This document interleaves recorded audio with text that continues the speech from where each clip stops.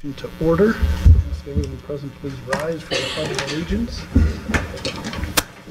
Pledge allegiance. to the flag of the United States of America and to the republic for which it stands, one nation, under God, indivisible, with liberty and justice for all. Thank you. Welcome to new spaces, a different corner of the room, but still our corner, right? That's true. Okay, this is the portion of the meeting that's reserved for public comment. Anyone here wishing to make public comment? Seeing none, we will move on to the consent agenda items. Approval of the minutes of the August 27th board meeting and statement of receipts and expenditures for August 2018. A motion to approve those consent agenda items. Motion to approve. Is there a second? Second. Motion is made and seconded. Any discussion? All those in favor of the motion signify by aye. Aye. Opposed? And that motion passes. So, moving on. Action items and reports. Superintendent's report.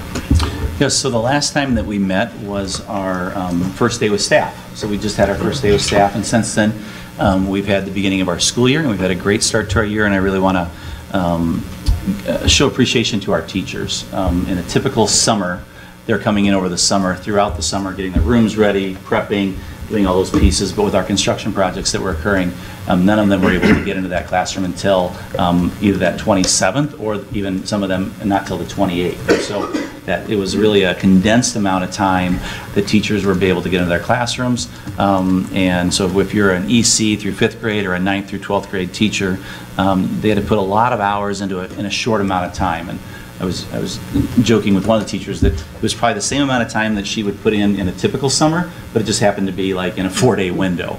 Um, And so there's a ton of people that were in here late hours that week, into the weekend, um, even into that following week, people in late hours, into the weekends, getting things ready. And I just really, we're really fortunate to have just a dedicated group of teachers that really work to make um, learning happen for our kids on the first day of school. Um, There's still some things that are occurring, you know, with construction projects, and there's even still some unpacking that's occurring in various classrooms. But teachers really were ready for kids, made that, that learning experience on the first day very positive for our kids. And I really want to just thank our teachers for um, the dedication that they showed to our, to our students, to our community, um, and to each other. Um, And I just want to make sure their, their extra effort was noticed and appreciated um, by administration, and I know the board echoes that as well. So um, that was, a- that was a great thing. Um, And then, uh, Carrie, if you can bring up that, the first couple slides there. On Friday, the 14th, um, we had all of our elementary students um, um, um, pose together for a picture with their new T-shirt um, in their school colors. So our slogan for the year is United as One, Learning Together.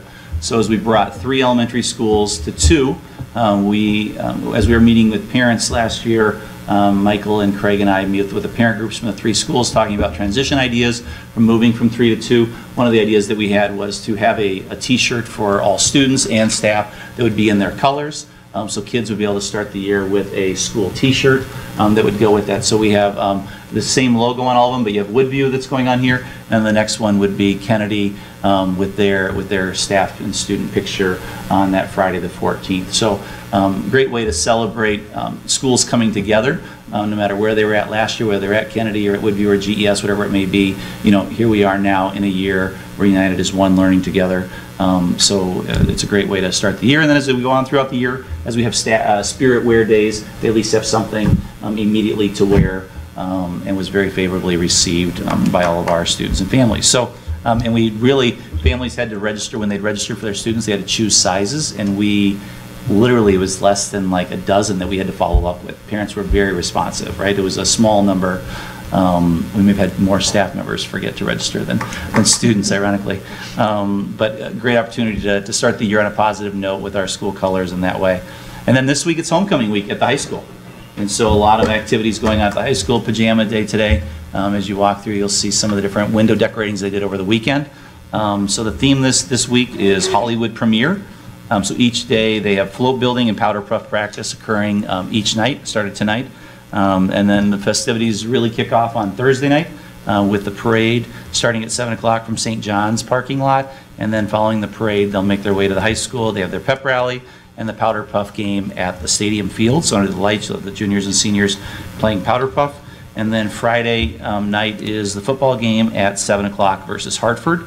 Um, We typically have our Hall of Fame ceremony, and um, the recipient of this year's Hall of Fame was not able to um, make it, uh, that that that game, that that Friday didn't uh, fit with her schedule. So Scott is working with her and her family to pick a day in November or December, and I'm not sure if he has a a final date yet, but they're picking a a basketball game that that um, her and her family can be here. Um, She wanted everyone to be able to be here. She takes great pride in being a Blackhawk and wants to make sure we celebrate that appropriately. So instead of celebrating without her, we're obviously going to hold off on that and pick a time that's conducive to her and her family. So um, that leads us at 5 o'clock, though, on Friday night, we will have our um, rededication ceremony at the high school. We'll have it, we'll start in the Commons, and then from there, Scott has um, 10 different students that will be giving, either student council students or, or class officers that will be giving tours um, at the high school um, to various locations throughout the thing. And then 7 o'clock is when the football game starts. Um, And um, so then we have, so then following up with that, we have, the next item here is the school board, uh, Wisconsin School Board Week. And um, on October 7th through the 13th is Wisconsin School Board Appreciation Week. And um, we are very fortunate to have a um, supportive, um, hardworking school board that puts the interest of kids first. And we want to take that opportunity to thank you on behalf of our community for all the extra hours that you put in. You know, we, at the annual meeting, we hear it's, you know, 1,350 and $1,450 for the year. And I, I don't want you to compute the hourly um, aspect to that, um, because then you might not run again. Um, But we do know it it does take countless hours, listening to community members, working with our staff, coming to meetings, um, but being visible in the community, hearing people's input. Um, You know, the referendum is an example of that, taking input from people and working towards a, a common goal. Um, So we want to make sure we appreciate you in that way. And so we have a, a press release that we'll be releasing tomorrow, um, going out to the newspapers, but in it, in it will say, the members serving our district in their years of service are as follows. Board President Paul Lorgy with 17 years, Vice President Kerry Walls with five, Clerk Clerk Joe Mail with three, Treasurer Mark Kaler with three, Steve Nada with two, Jerry Rossi with two, and John Skolman with one. Um, And they'll be recognizing you on our electronic sign during the week of uh, October 7th through the 13th. We'll be giving individual messages from administrators and staff. And then we also have a special gift of a caramel apple from Sweet Trio um, at the September 24th board meeting. So what we'd like to do is we'd like to have you get into a group here, and Kara's going to take a picture of you with your caramel apple, and then we will send that along to um, both News Graphic and the Ozaukee Press um, for them to be able to put something in there for you.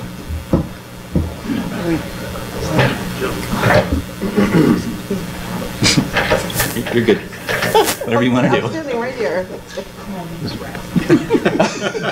Standing right here. Make sure she can see your face. Am I in your way? No. Just don't get in her.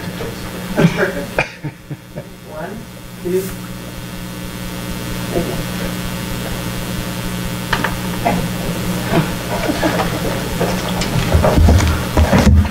So because the board, because October, you know, the time we have our next board meeting, we thought tonight would be a great um, time to honor you and thank you for um, your service to our community and to our district. And um, so we'll be sending that picture along with the press release. And, um, you know, apples is something that represents in education, a gift that, you know, is is wholesome and, um, and something from Sweet Trio, when you take an apple and chocolate.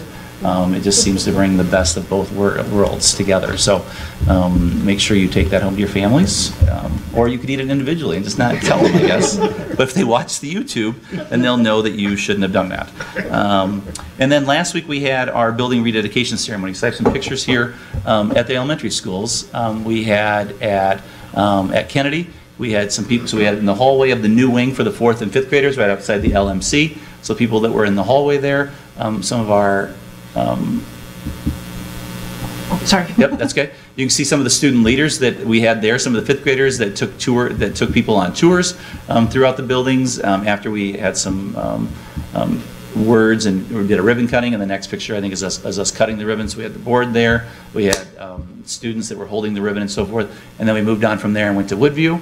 And we use the new um, fourth and fifth grade wing there with that, that new hallway. So the exterior, that's the old exterior um, on the right-hand side, no matter which way you're looking at, it's the right-hand side.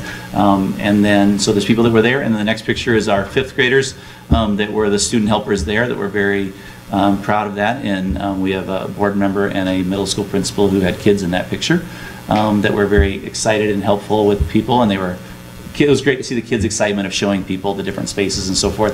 And then we had our ribbon cutting um, that also occurred at Woodview. And then um, we had some, then we had, it was great to see both at Kennedy and Woodview, we had a number of retired people um, that came back um, to walk through the classrooms and just see what it was like when I was a teacher in first grade, or when I was the art teacher, or I was the kindergarten teacher, whatever maybe. And then we also had um, Irvin Lucier, who was Woodview's first principal. So back in 1969 to 1988, he came back and um, and it was great. He was um, I showed him Michael's new office and he was like, "Well, my office was better because it had a window to outside." And when we went to where the remodeled serving area is, he's like, "Where's the small little door that all that was?" And just like it was really great, just like, "Oh, that's right, I forgot how small it was." And so it was great hearing his perspective on a lot of things, you know, seeing the TV in the in the hallway and so forth. Oh, technology, you know, and, and some of those pieces. So uh, we took a picture with uh, with Paul and I with him uh, right after the ribbon cutting, and then um, he was talking to Michael, and I'm like, we should get a picture of the current principal as well as the first principal um, that we had um, at Woodview. So it was great that he still had great memories. Um, of serving as, as the principal here, and um, and it was really uh, it was a fun night. It was it was great to see the excitement of our community, um, we had um, we had- families that were at the high school now who used to go to Kennedy or used to go to Woodview that wanted to come in. They're like, this is my one chance probably to, to see it. So they brought their high school kids in. Um, even families that had, had kids at Woodview that then were you know, that wanted to go see Kennedy's uh, place. So we went back and forth. So it was really a, a fun night, an opportunity to showcase um, the, the, the, what the building looks like, both the new spaces as well as the remodeled spaces. And we look forward to being able to do the same thing um, this coming Friday at the high school. Um, And then, and then uh, last but not least, something that's on here is the Grafton Education Foundation has their Seeds to Harvest annual appeal um, that hopefully you receive something in the mail. And Mary Ellen Hogan is here, and she has a couple things to talk about from the Grafton Education Foundation I want to make sure the board and our community is aware of. Um, well, you mentioned the Seeds of Harvest, that, that's, um, been going out in stages, so, um, if you haven't got yours, you'll, you'll get it soon. We are on track for the Super Bowl, and we're happy to say that that's gonna be back in Grafton this year, in the facility that it was in before, which is not a bowling alley, but it is a, um, like banquet hall now. And so we're happy to be able to, um, Cedars has been amazing, um, to us for the last few years, but we really wanted to have it back in Grafton. And, um, there's a new, young team, um, that is in charge of it this year, and they have a lot of great new ideas.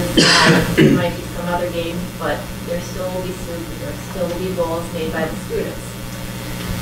So, um, then our board has been really busy all summer wor- rewording, um, our mission statement and grant proposal guidelines. And, um, we developed a separate gift proposal, um, that we think is gonna work better.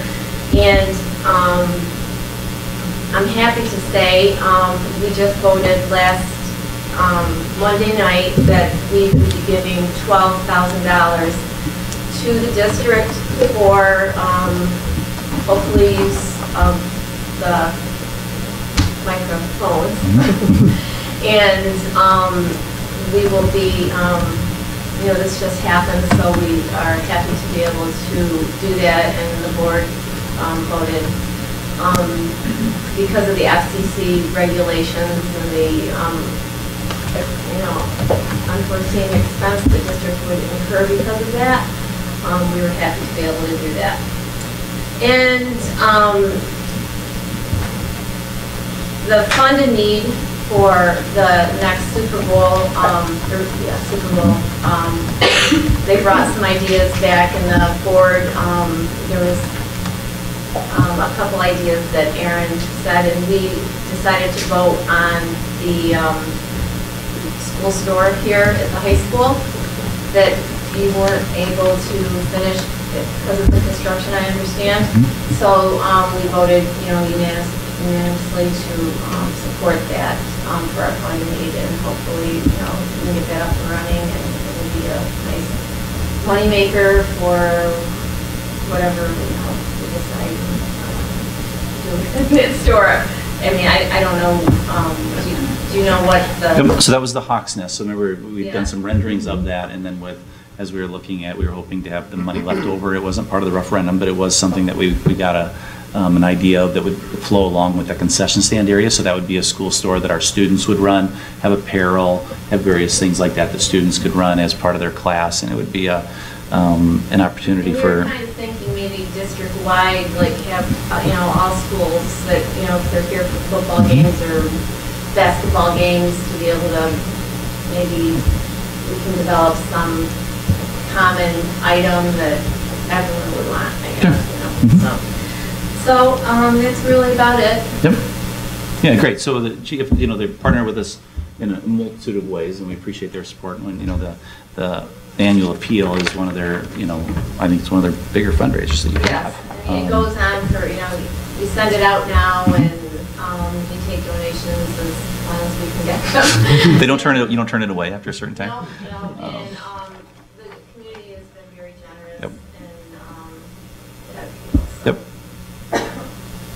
So I wanted to make sure we highlighted that in my report as well. Okay? And with that, that concludes the superintendent's report. Excellent. Well, thank you very much, Jeff. Thank you very much for that update on the Grafton Education Foundation. I think uh, it- it's interesting to hear in both of those reports, uh, you know, the new energetic members. As you think about membership of the I think GEF, The old people are getting old. the the tenured people are passing on their wisdom and their knowledge to the new people. Um, And and on behalf of the entire board, certainly thank you to administration. Uh, It it isn't for the paycheck, I doubt, but anybody is sitting up here.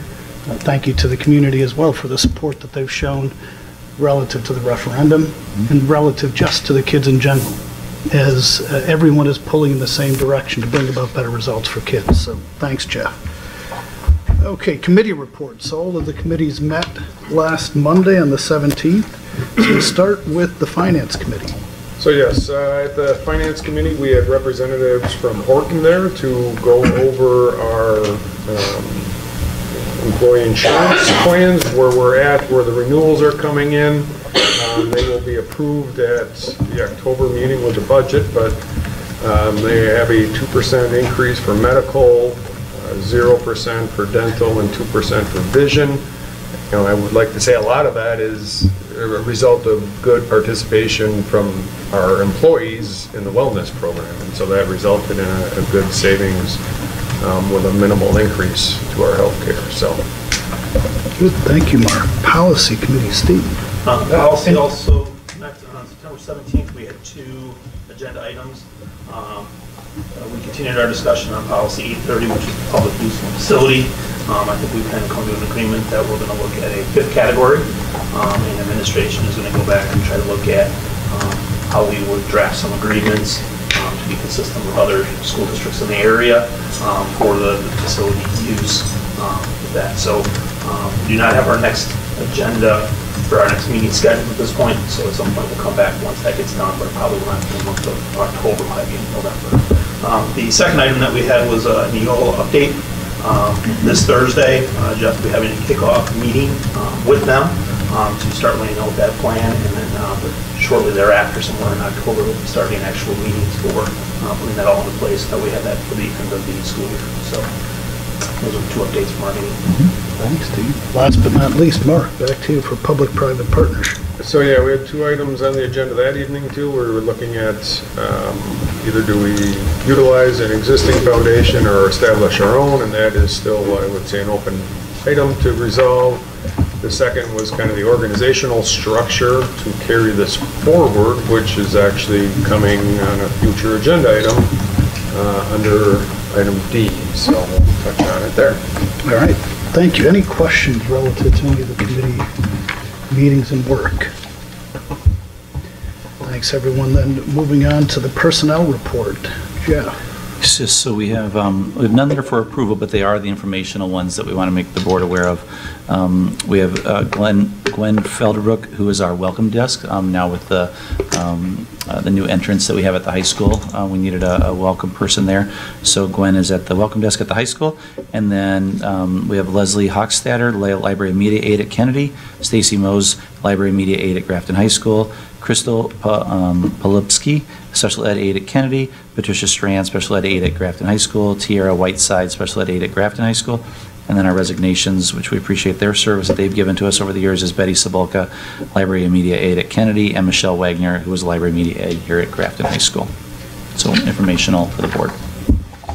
Thank you. Uh, Going back then to facilities planning, enhancing our future. I s- I s- marked this as your item from B3 there, so Jeff, who's taking this one? You want to roll? Sure. So, um, so as, as, as, as Mark mentioned, we spent a lot of time at the Public-Private Partnership Committee um, developing a um, steering committee that would move us forward with our facilities planning. So, um, we are looking at facilities planning and using the slogan of enhancing our future. Um, so we think of our current budget, our, our, our 20-year maintenance plan as protecting our future, and we look at this opportunity as enhancing our future. So the things that we need that aren't covered in our regular budget. So right now, we would look at our athletic fields. So we've done some work with athletic fields, We've also done some work, some preliminary work looking at our auditorium. So we know tho- those are two, two areas that need some um, enhancements um, that would not be coming in our regular budget. And so um, this steering committee would be, be created in order to um, privately raise funds to be able to fund the priorities that would go with that. This would all be, um, the steering committee would be working towards projects and project priorities that are approved by the school board. Um, And then you can see the members of the steering committee would be the district superintendent as the chair, Director of Business Services, um, two Board of Education members, and a Chamber of Commerce member. And then the larger group would be the advisory committee and membership, and that would be relative to specific projects. Um, So um, th- that, that could include, you can see the following, there's a list of members of the advisory committee based on a specific project, so whether it's in the academic, the athletics, the, the arts, or in other, um, and there'd be other people that could be added. Um, You know, the final thing is other is applicable, could be multiple people that would come onto that advisory committee piece, um, depending on what the, the, the areas that we're looking to enhance. So at, at this time, I, just to recap, the, the uh, Public-Private Partnership Ad Hoc Committee of the Board was, was formed to determine and flesh out a structure upon which we could engage the community for purposes of identifying projects and then soliciting funds relative to those projects. I think the ad hoc committee has now met its obligations and its goals, and as such, that committee would be dissolved, and this new steering committee uh, would take over from that committee. So I think it would be appropriate that there be a motion uh, to adopt this structure as presented as it relates to the formation of a steering committee and related membership for the facilities planning, enhancing our future. So moved. Any further discussion? All those in favor of the motion, aye. Aye. Opposed? The motion passes. Thank you, and thank you to the members of the ad hoc committee for their work in moving it to this point. And I know some of you have volunteered to serve on that committee. I'll be working with Jeff as we look to fill that committee out. Okay, personnel report. Uh, We did that. We did D as well. Unusually hazardous transportation plan update. Item E. Yes, so um, we last updated our unusual, unusually hazardous transportation plan um, back in 2015. We, uh, as we redrew boundaries and created two, two bound, boundaries for two schools versus three, we created new bus routes that resulted from this, and we also ended up getting new walking routes. And so what happened at the beginning of this year, there were a group of families that lived on the east side of the Milwaukee River within a mile of Kennedy that would need to cross Bridge Street over the Milwaukee River. And they reached out um, saying that they felt that this would, this was a bit of a, of a hazard to walk across that route. So we looked into it, we noted that the, where Falls Road crosses the Milwaukee River, which has very similar um, aspects to it, with just one sidewalk on one side of the bridge crossing the river, we felt that these were very similar. We also note that we had never examined um, Bridge Street before because it had never been a route to any school. The boundary that was formed when we had Grafton Elementary meant that if you lived on the east side of the river, you would walk to Grafton Elementary. You didn't have to cross the river. And then same thing, if you lived on the west side of the river, you would walk to Kennedy, you wouldn't have to cross that river there. Whereas Falls Road, down in that area, being to the south, there were families who were in the Kennedy zone that would have had to have walked across the river, the bridge, uh, to get to, to get to school. Um, And and now with the re- re- redistricting, there are families who are going to Kennedy that now have to cross bridge, and that was never a walking route before. So we are, uh, as a district, it is a a new location right at the end of the plan attached in your packet, location N, that would designate uh, Bridge Street where it crosses the Milwaukee River to be part of our uh, hazardous transportation plan. Those families who uh, would have to cross the river would be eligible for, eligible for busing, and we would also be eligible to receive aid for those students that we bus. So we are looking for a recommendation to update our UHT plan. So we have a motion. I'll make the motion to update. Is there a second? All right, any further discussion? I was just curious, um, now that there is a crossing guard and Woodview has been redone, crossing Fifth, I noticed there's a crossing guard there daily. Is that still a hazardous area? That, that's certainly something we could examine moving forward. It is currently part of our uh, hazardous transportation plan. The next step for us in this process is to meet with the sheriff and to show the sheriff the, the updated N, and we could, we could bring that forward and ask that question as well. So this goes to the sheriff and then DPI, is that what I was reading? Yes, so this will be submitted upon your approval, submitted to the sheriff for review. Once the sheriff signs off on it, it goes to DPI uh, for their sign-off. Here, you're talking about the one south of the school, right? or north? North. Right. To still be neighborhood past that has no sidewalk, so it would just be for like the Deerwood Court. Yeah. And Oak Blanchard, that makes sense, as long as they're safe. Yeah. Yeah, 'cause in previous years, there was never a crossing guard, but I noticed that there's now a crossing guard there, so it's a much easier crossing for those children. Any further discussion? Seeing none, then all those in favor of the motion, aye. Aye. Opposed? Certainly, thank you for the work that you've done in taking a look at this, and and I want to thank also, uh, you know, those that may have been impacted by this change and bringing it to our attention. Um, But a lot of new things this year, and a lot of new things that perhaps hadn't been looked at in the past that need to be looked at for the first time. And engaging in the dialogue respectfully with all of our, you know, with everyone who has kids coming to the school. We all want the same thing.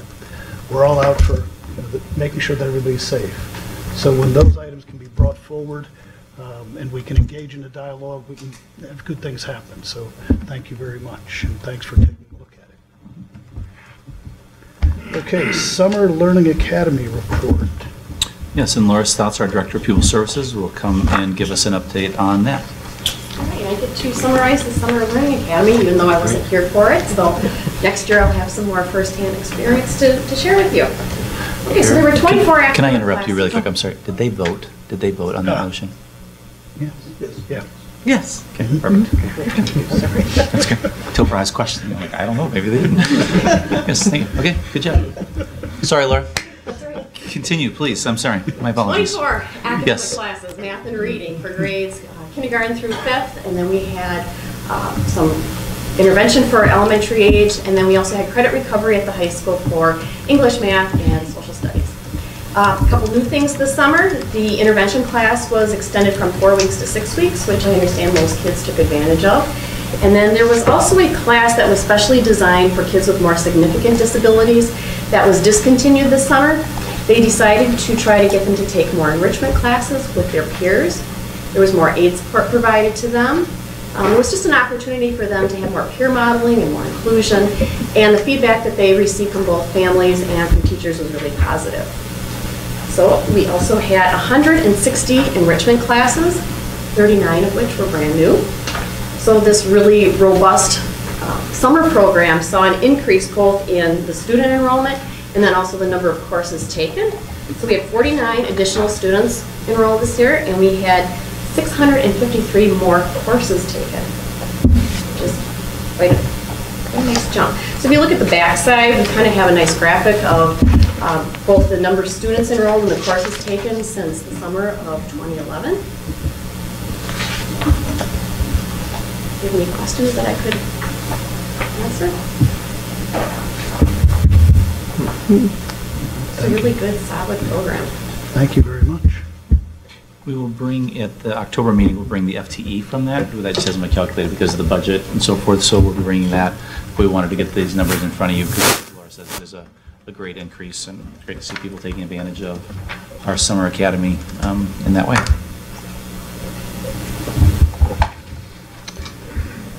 Okay, gift reports. We have two gift reports. We do. So I have, I have two of them. One is from an anonymous donor of donating um, granite countertops uh, valued um, to be $1,000. Um, And then one that is a contract that is um, uh, uh, uh, something for John Long Middle School that they're using with 14 Foods. Um, And what, and Brett Dimmer has worked with this for, I believe, their PBIS, where they, they'd be able to receive 450 free small cone coupons um, for students who reach their reading or math goals, um, 72 achievement awards for weekly PBIS drawings in the value of $215, and then 18 buy one, get one 99 cent Blizzard coupons and 99 cent chicken strip baskets um, for teachers who recognize students for PBIS. So the total value is um, $1,200. They put an ad in the Falcon Flyer four times a year, um, but because it is a contract, uh, we are bringing it to the board for approval before we move forward at the middle school. So one is a donation, one is a contract um, that we need board approval for. Um, We take them independently or s- together? I I would probably say they should be independent, because one's a donor that will send a, a thank Thank you. you, even though it's anonymous, donor, we knew that is, we send a, a thank you to that person, thanking them for supporting our programs, and the other is a contract. So then I'd entertain a motion to accept the anonymous gift of granite countertops in the value of approximately $1,000. So moved. Any discussion? All those in favor of the motion, aye? Aye. Opposed? And that passes. Then also entertain a motion to um, approve the contract for 14 Foods as presented. So moved. Second. Any further discussion? All those in favor of the motion, aye. Aye. Opposed? And that passes as well. Always good to see donations. We certainly thank those who are doing as such. And I'm sure Jamie has a good spot for these. All right. Student overnight trip request. So we have two, two for the board to approve. One is um, an academic one, and one is an athletic one. The one is, the first one we'll talk about is the Fred Sturm Celebration Jazz Festival at at Lawrence University. Um, And you can see Ms. Hart, who is the jazz teacher, as well as her husband would be the chaperone um, for that group. It's on Saturday, November 3rd, and Sunday, November 4th. Um, So it's a Fred Sturm Celebration Jazz Weekend hosted by Lawrence University. Um, Is, was started by Lawrence Eastman Professor Fred Sturm and provides students the opportunity to perform for, listen to, and study with professional jazz educators and performers from around the world. So um, Lawrence University is in Appleton. Um, So we would ask for approval for that, as well as then the boys and girls cross-country overnight trip to Blue Harbor and I think it's, is it Manitowoc? It says Manny, Manitou um, that they do, this is a twofold for the cross-country team. Um, They have an inter-squad cross-country race, and, um, and then they use, also use as a team bonding experience for the athletes. So we've attached the roster, and you can see that per board policy, we do have both male and female chaperones also going along on the trip. So we'd ask for the board approval for these two trips. motion to that effect? So moved. Okay. Any discussion, questions? All right, seeing none, all those in favor of the motion, aye. Aye. Opposed? Passed, thank you, Jim. And finally, construction updates. Yes, so good news. Uh, The pool is back in use. Swimmers had practice tonight in there for the first time. Um, So they will still have the opportunity to host two meets, um, as well as the conference meet at the end of the season. Um, So it's great for our student athletes as well as our um, students in phy ed and our community be able to start utilizing the pool. Um, uh, Deconstruction of Grafton Elementary School has begun. Um, We do have some GES bricks that are available um, out by the tennis court. Um, Spielvogel will be dumping some tomorrow. Um, It's right across from the tennis courts in the old parking lot, um, in the west parking lot by the tennis courts. Um, We have had some requests from people either calling or emailing, asking about the fill um, that's being stored there, and that's, that fill is actually being reused. It's fill that we've used, or even uh, that others have dropped there from other sites, um, that once they take the concrete up and they take up um, the basement at GES, we're gonna have to fill that back in before we put the asphalt down. So it's a savings for us to be able to store it there, and that'll be used in that way. So it isn't, um, that we even had people in the office laughing that they could use it at their house, and we were like, well, that's not what it's there for. Um, But we did appreciate people reaching out and asking, so that will fill in that footprint um, and so forth. Um, District office, um, uh, so the parking, we were moved from where we typically park um, in that west parking lot, and it was more, um, I guess, the, the east side of that, um, to now we're parking where you used to have the parking for GES, and then in the middle of this week, I believe by Wednesday or Thursday, parking for district office will be right where there used to be grass, right by the sign. So if you go down by there now, they've, they've dug out a couple feet of dirt. Uh, They started laying some gravel at the end of the night. Um, It's basically the connector from the, as the high school parking lot comes down and now the driveway goes down and around, it will actually connect the district office. So you'll be able to access this side from 60 or an emergency vehicle come from the high school and get the district office more quickly instead of having to go around or trying to jump out on 60 and come back in.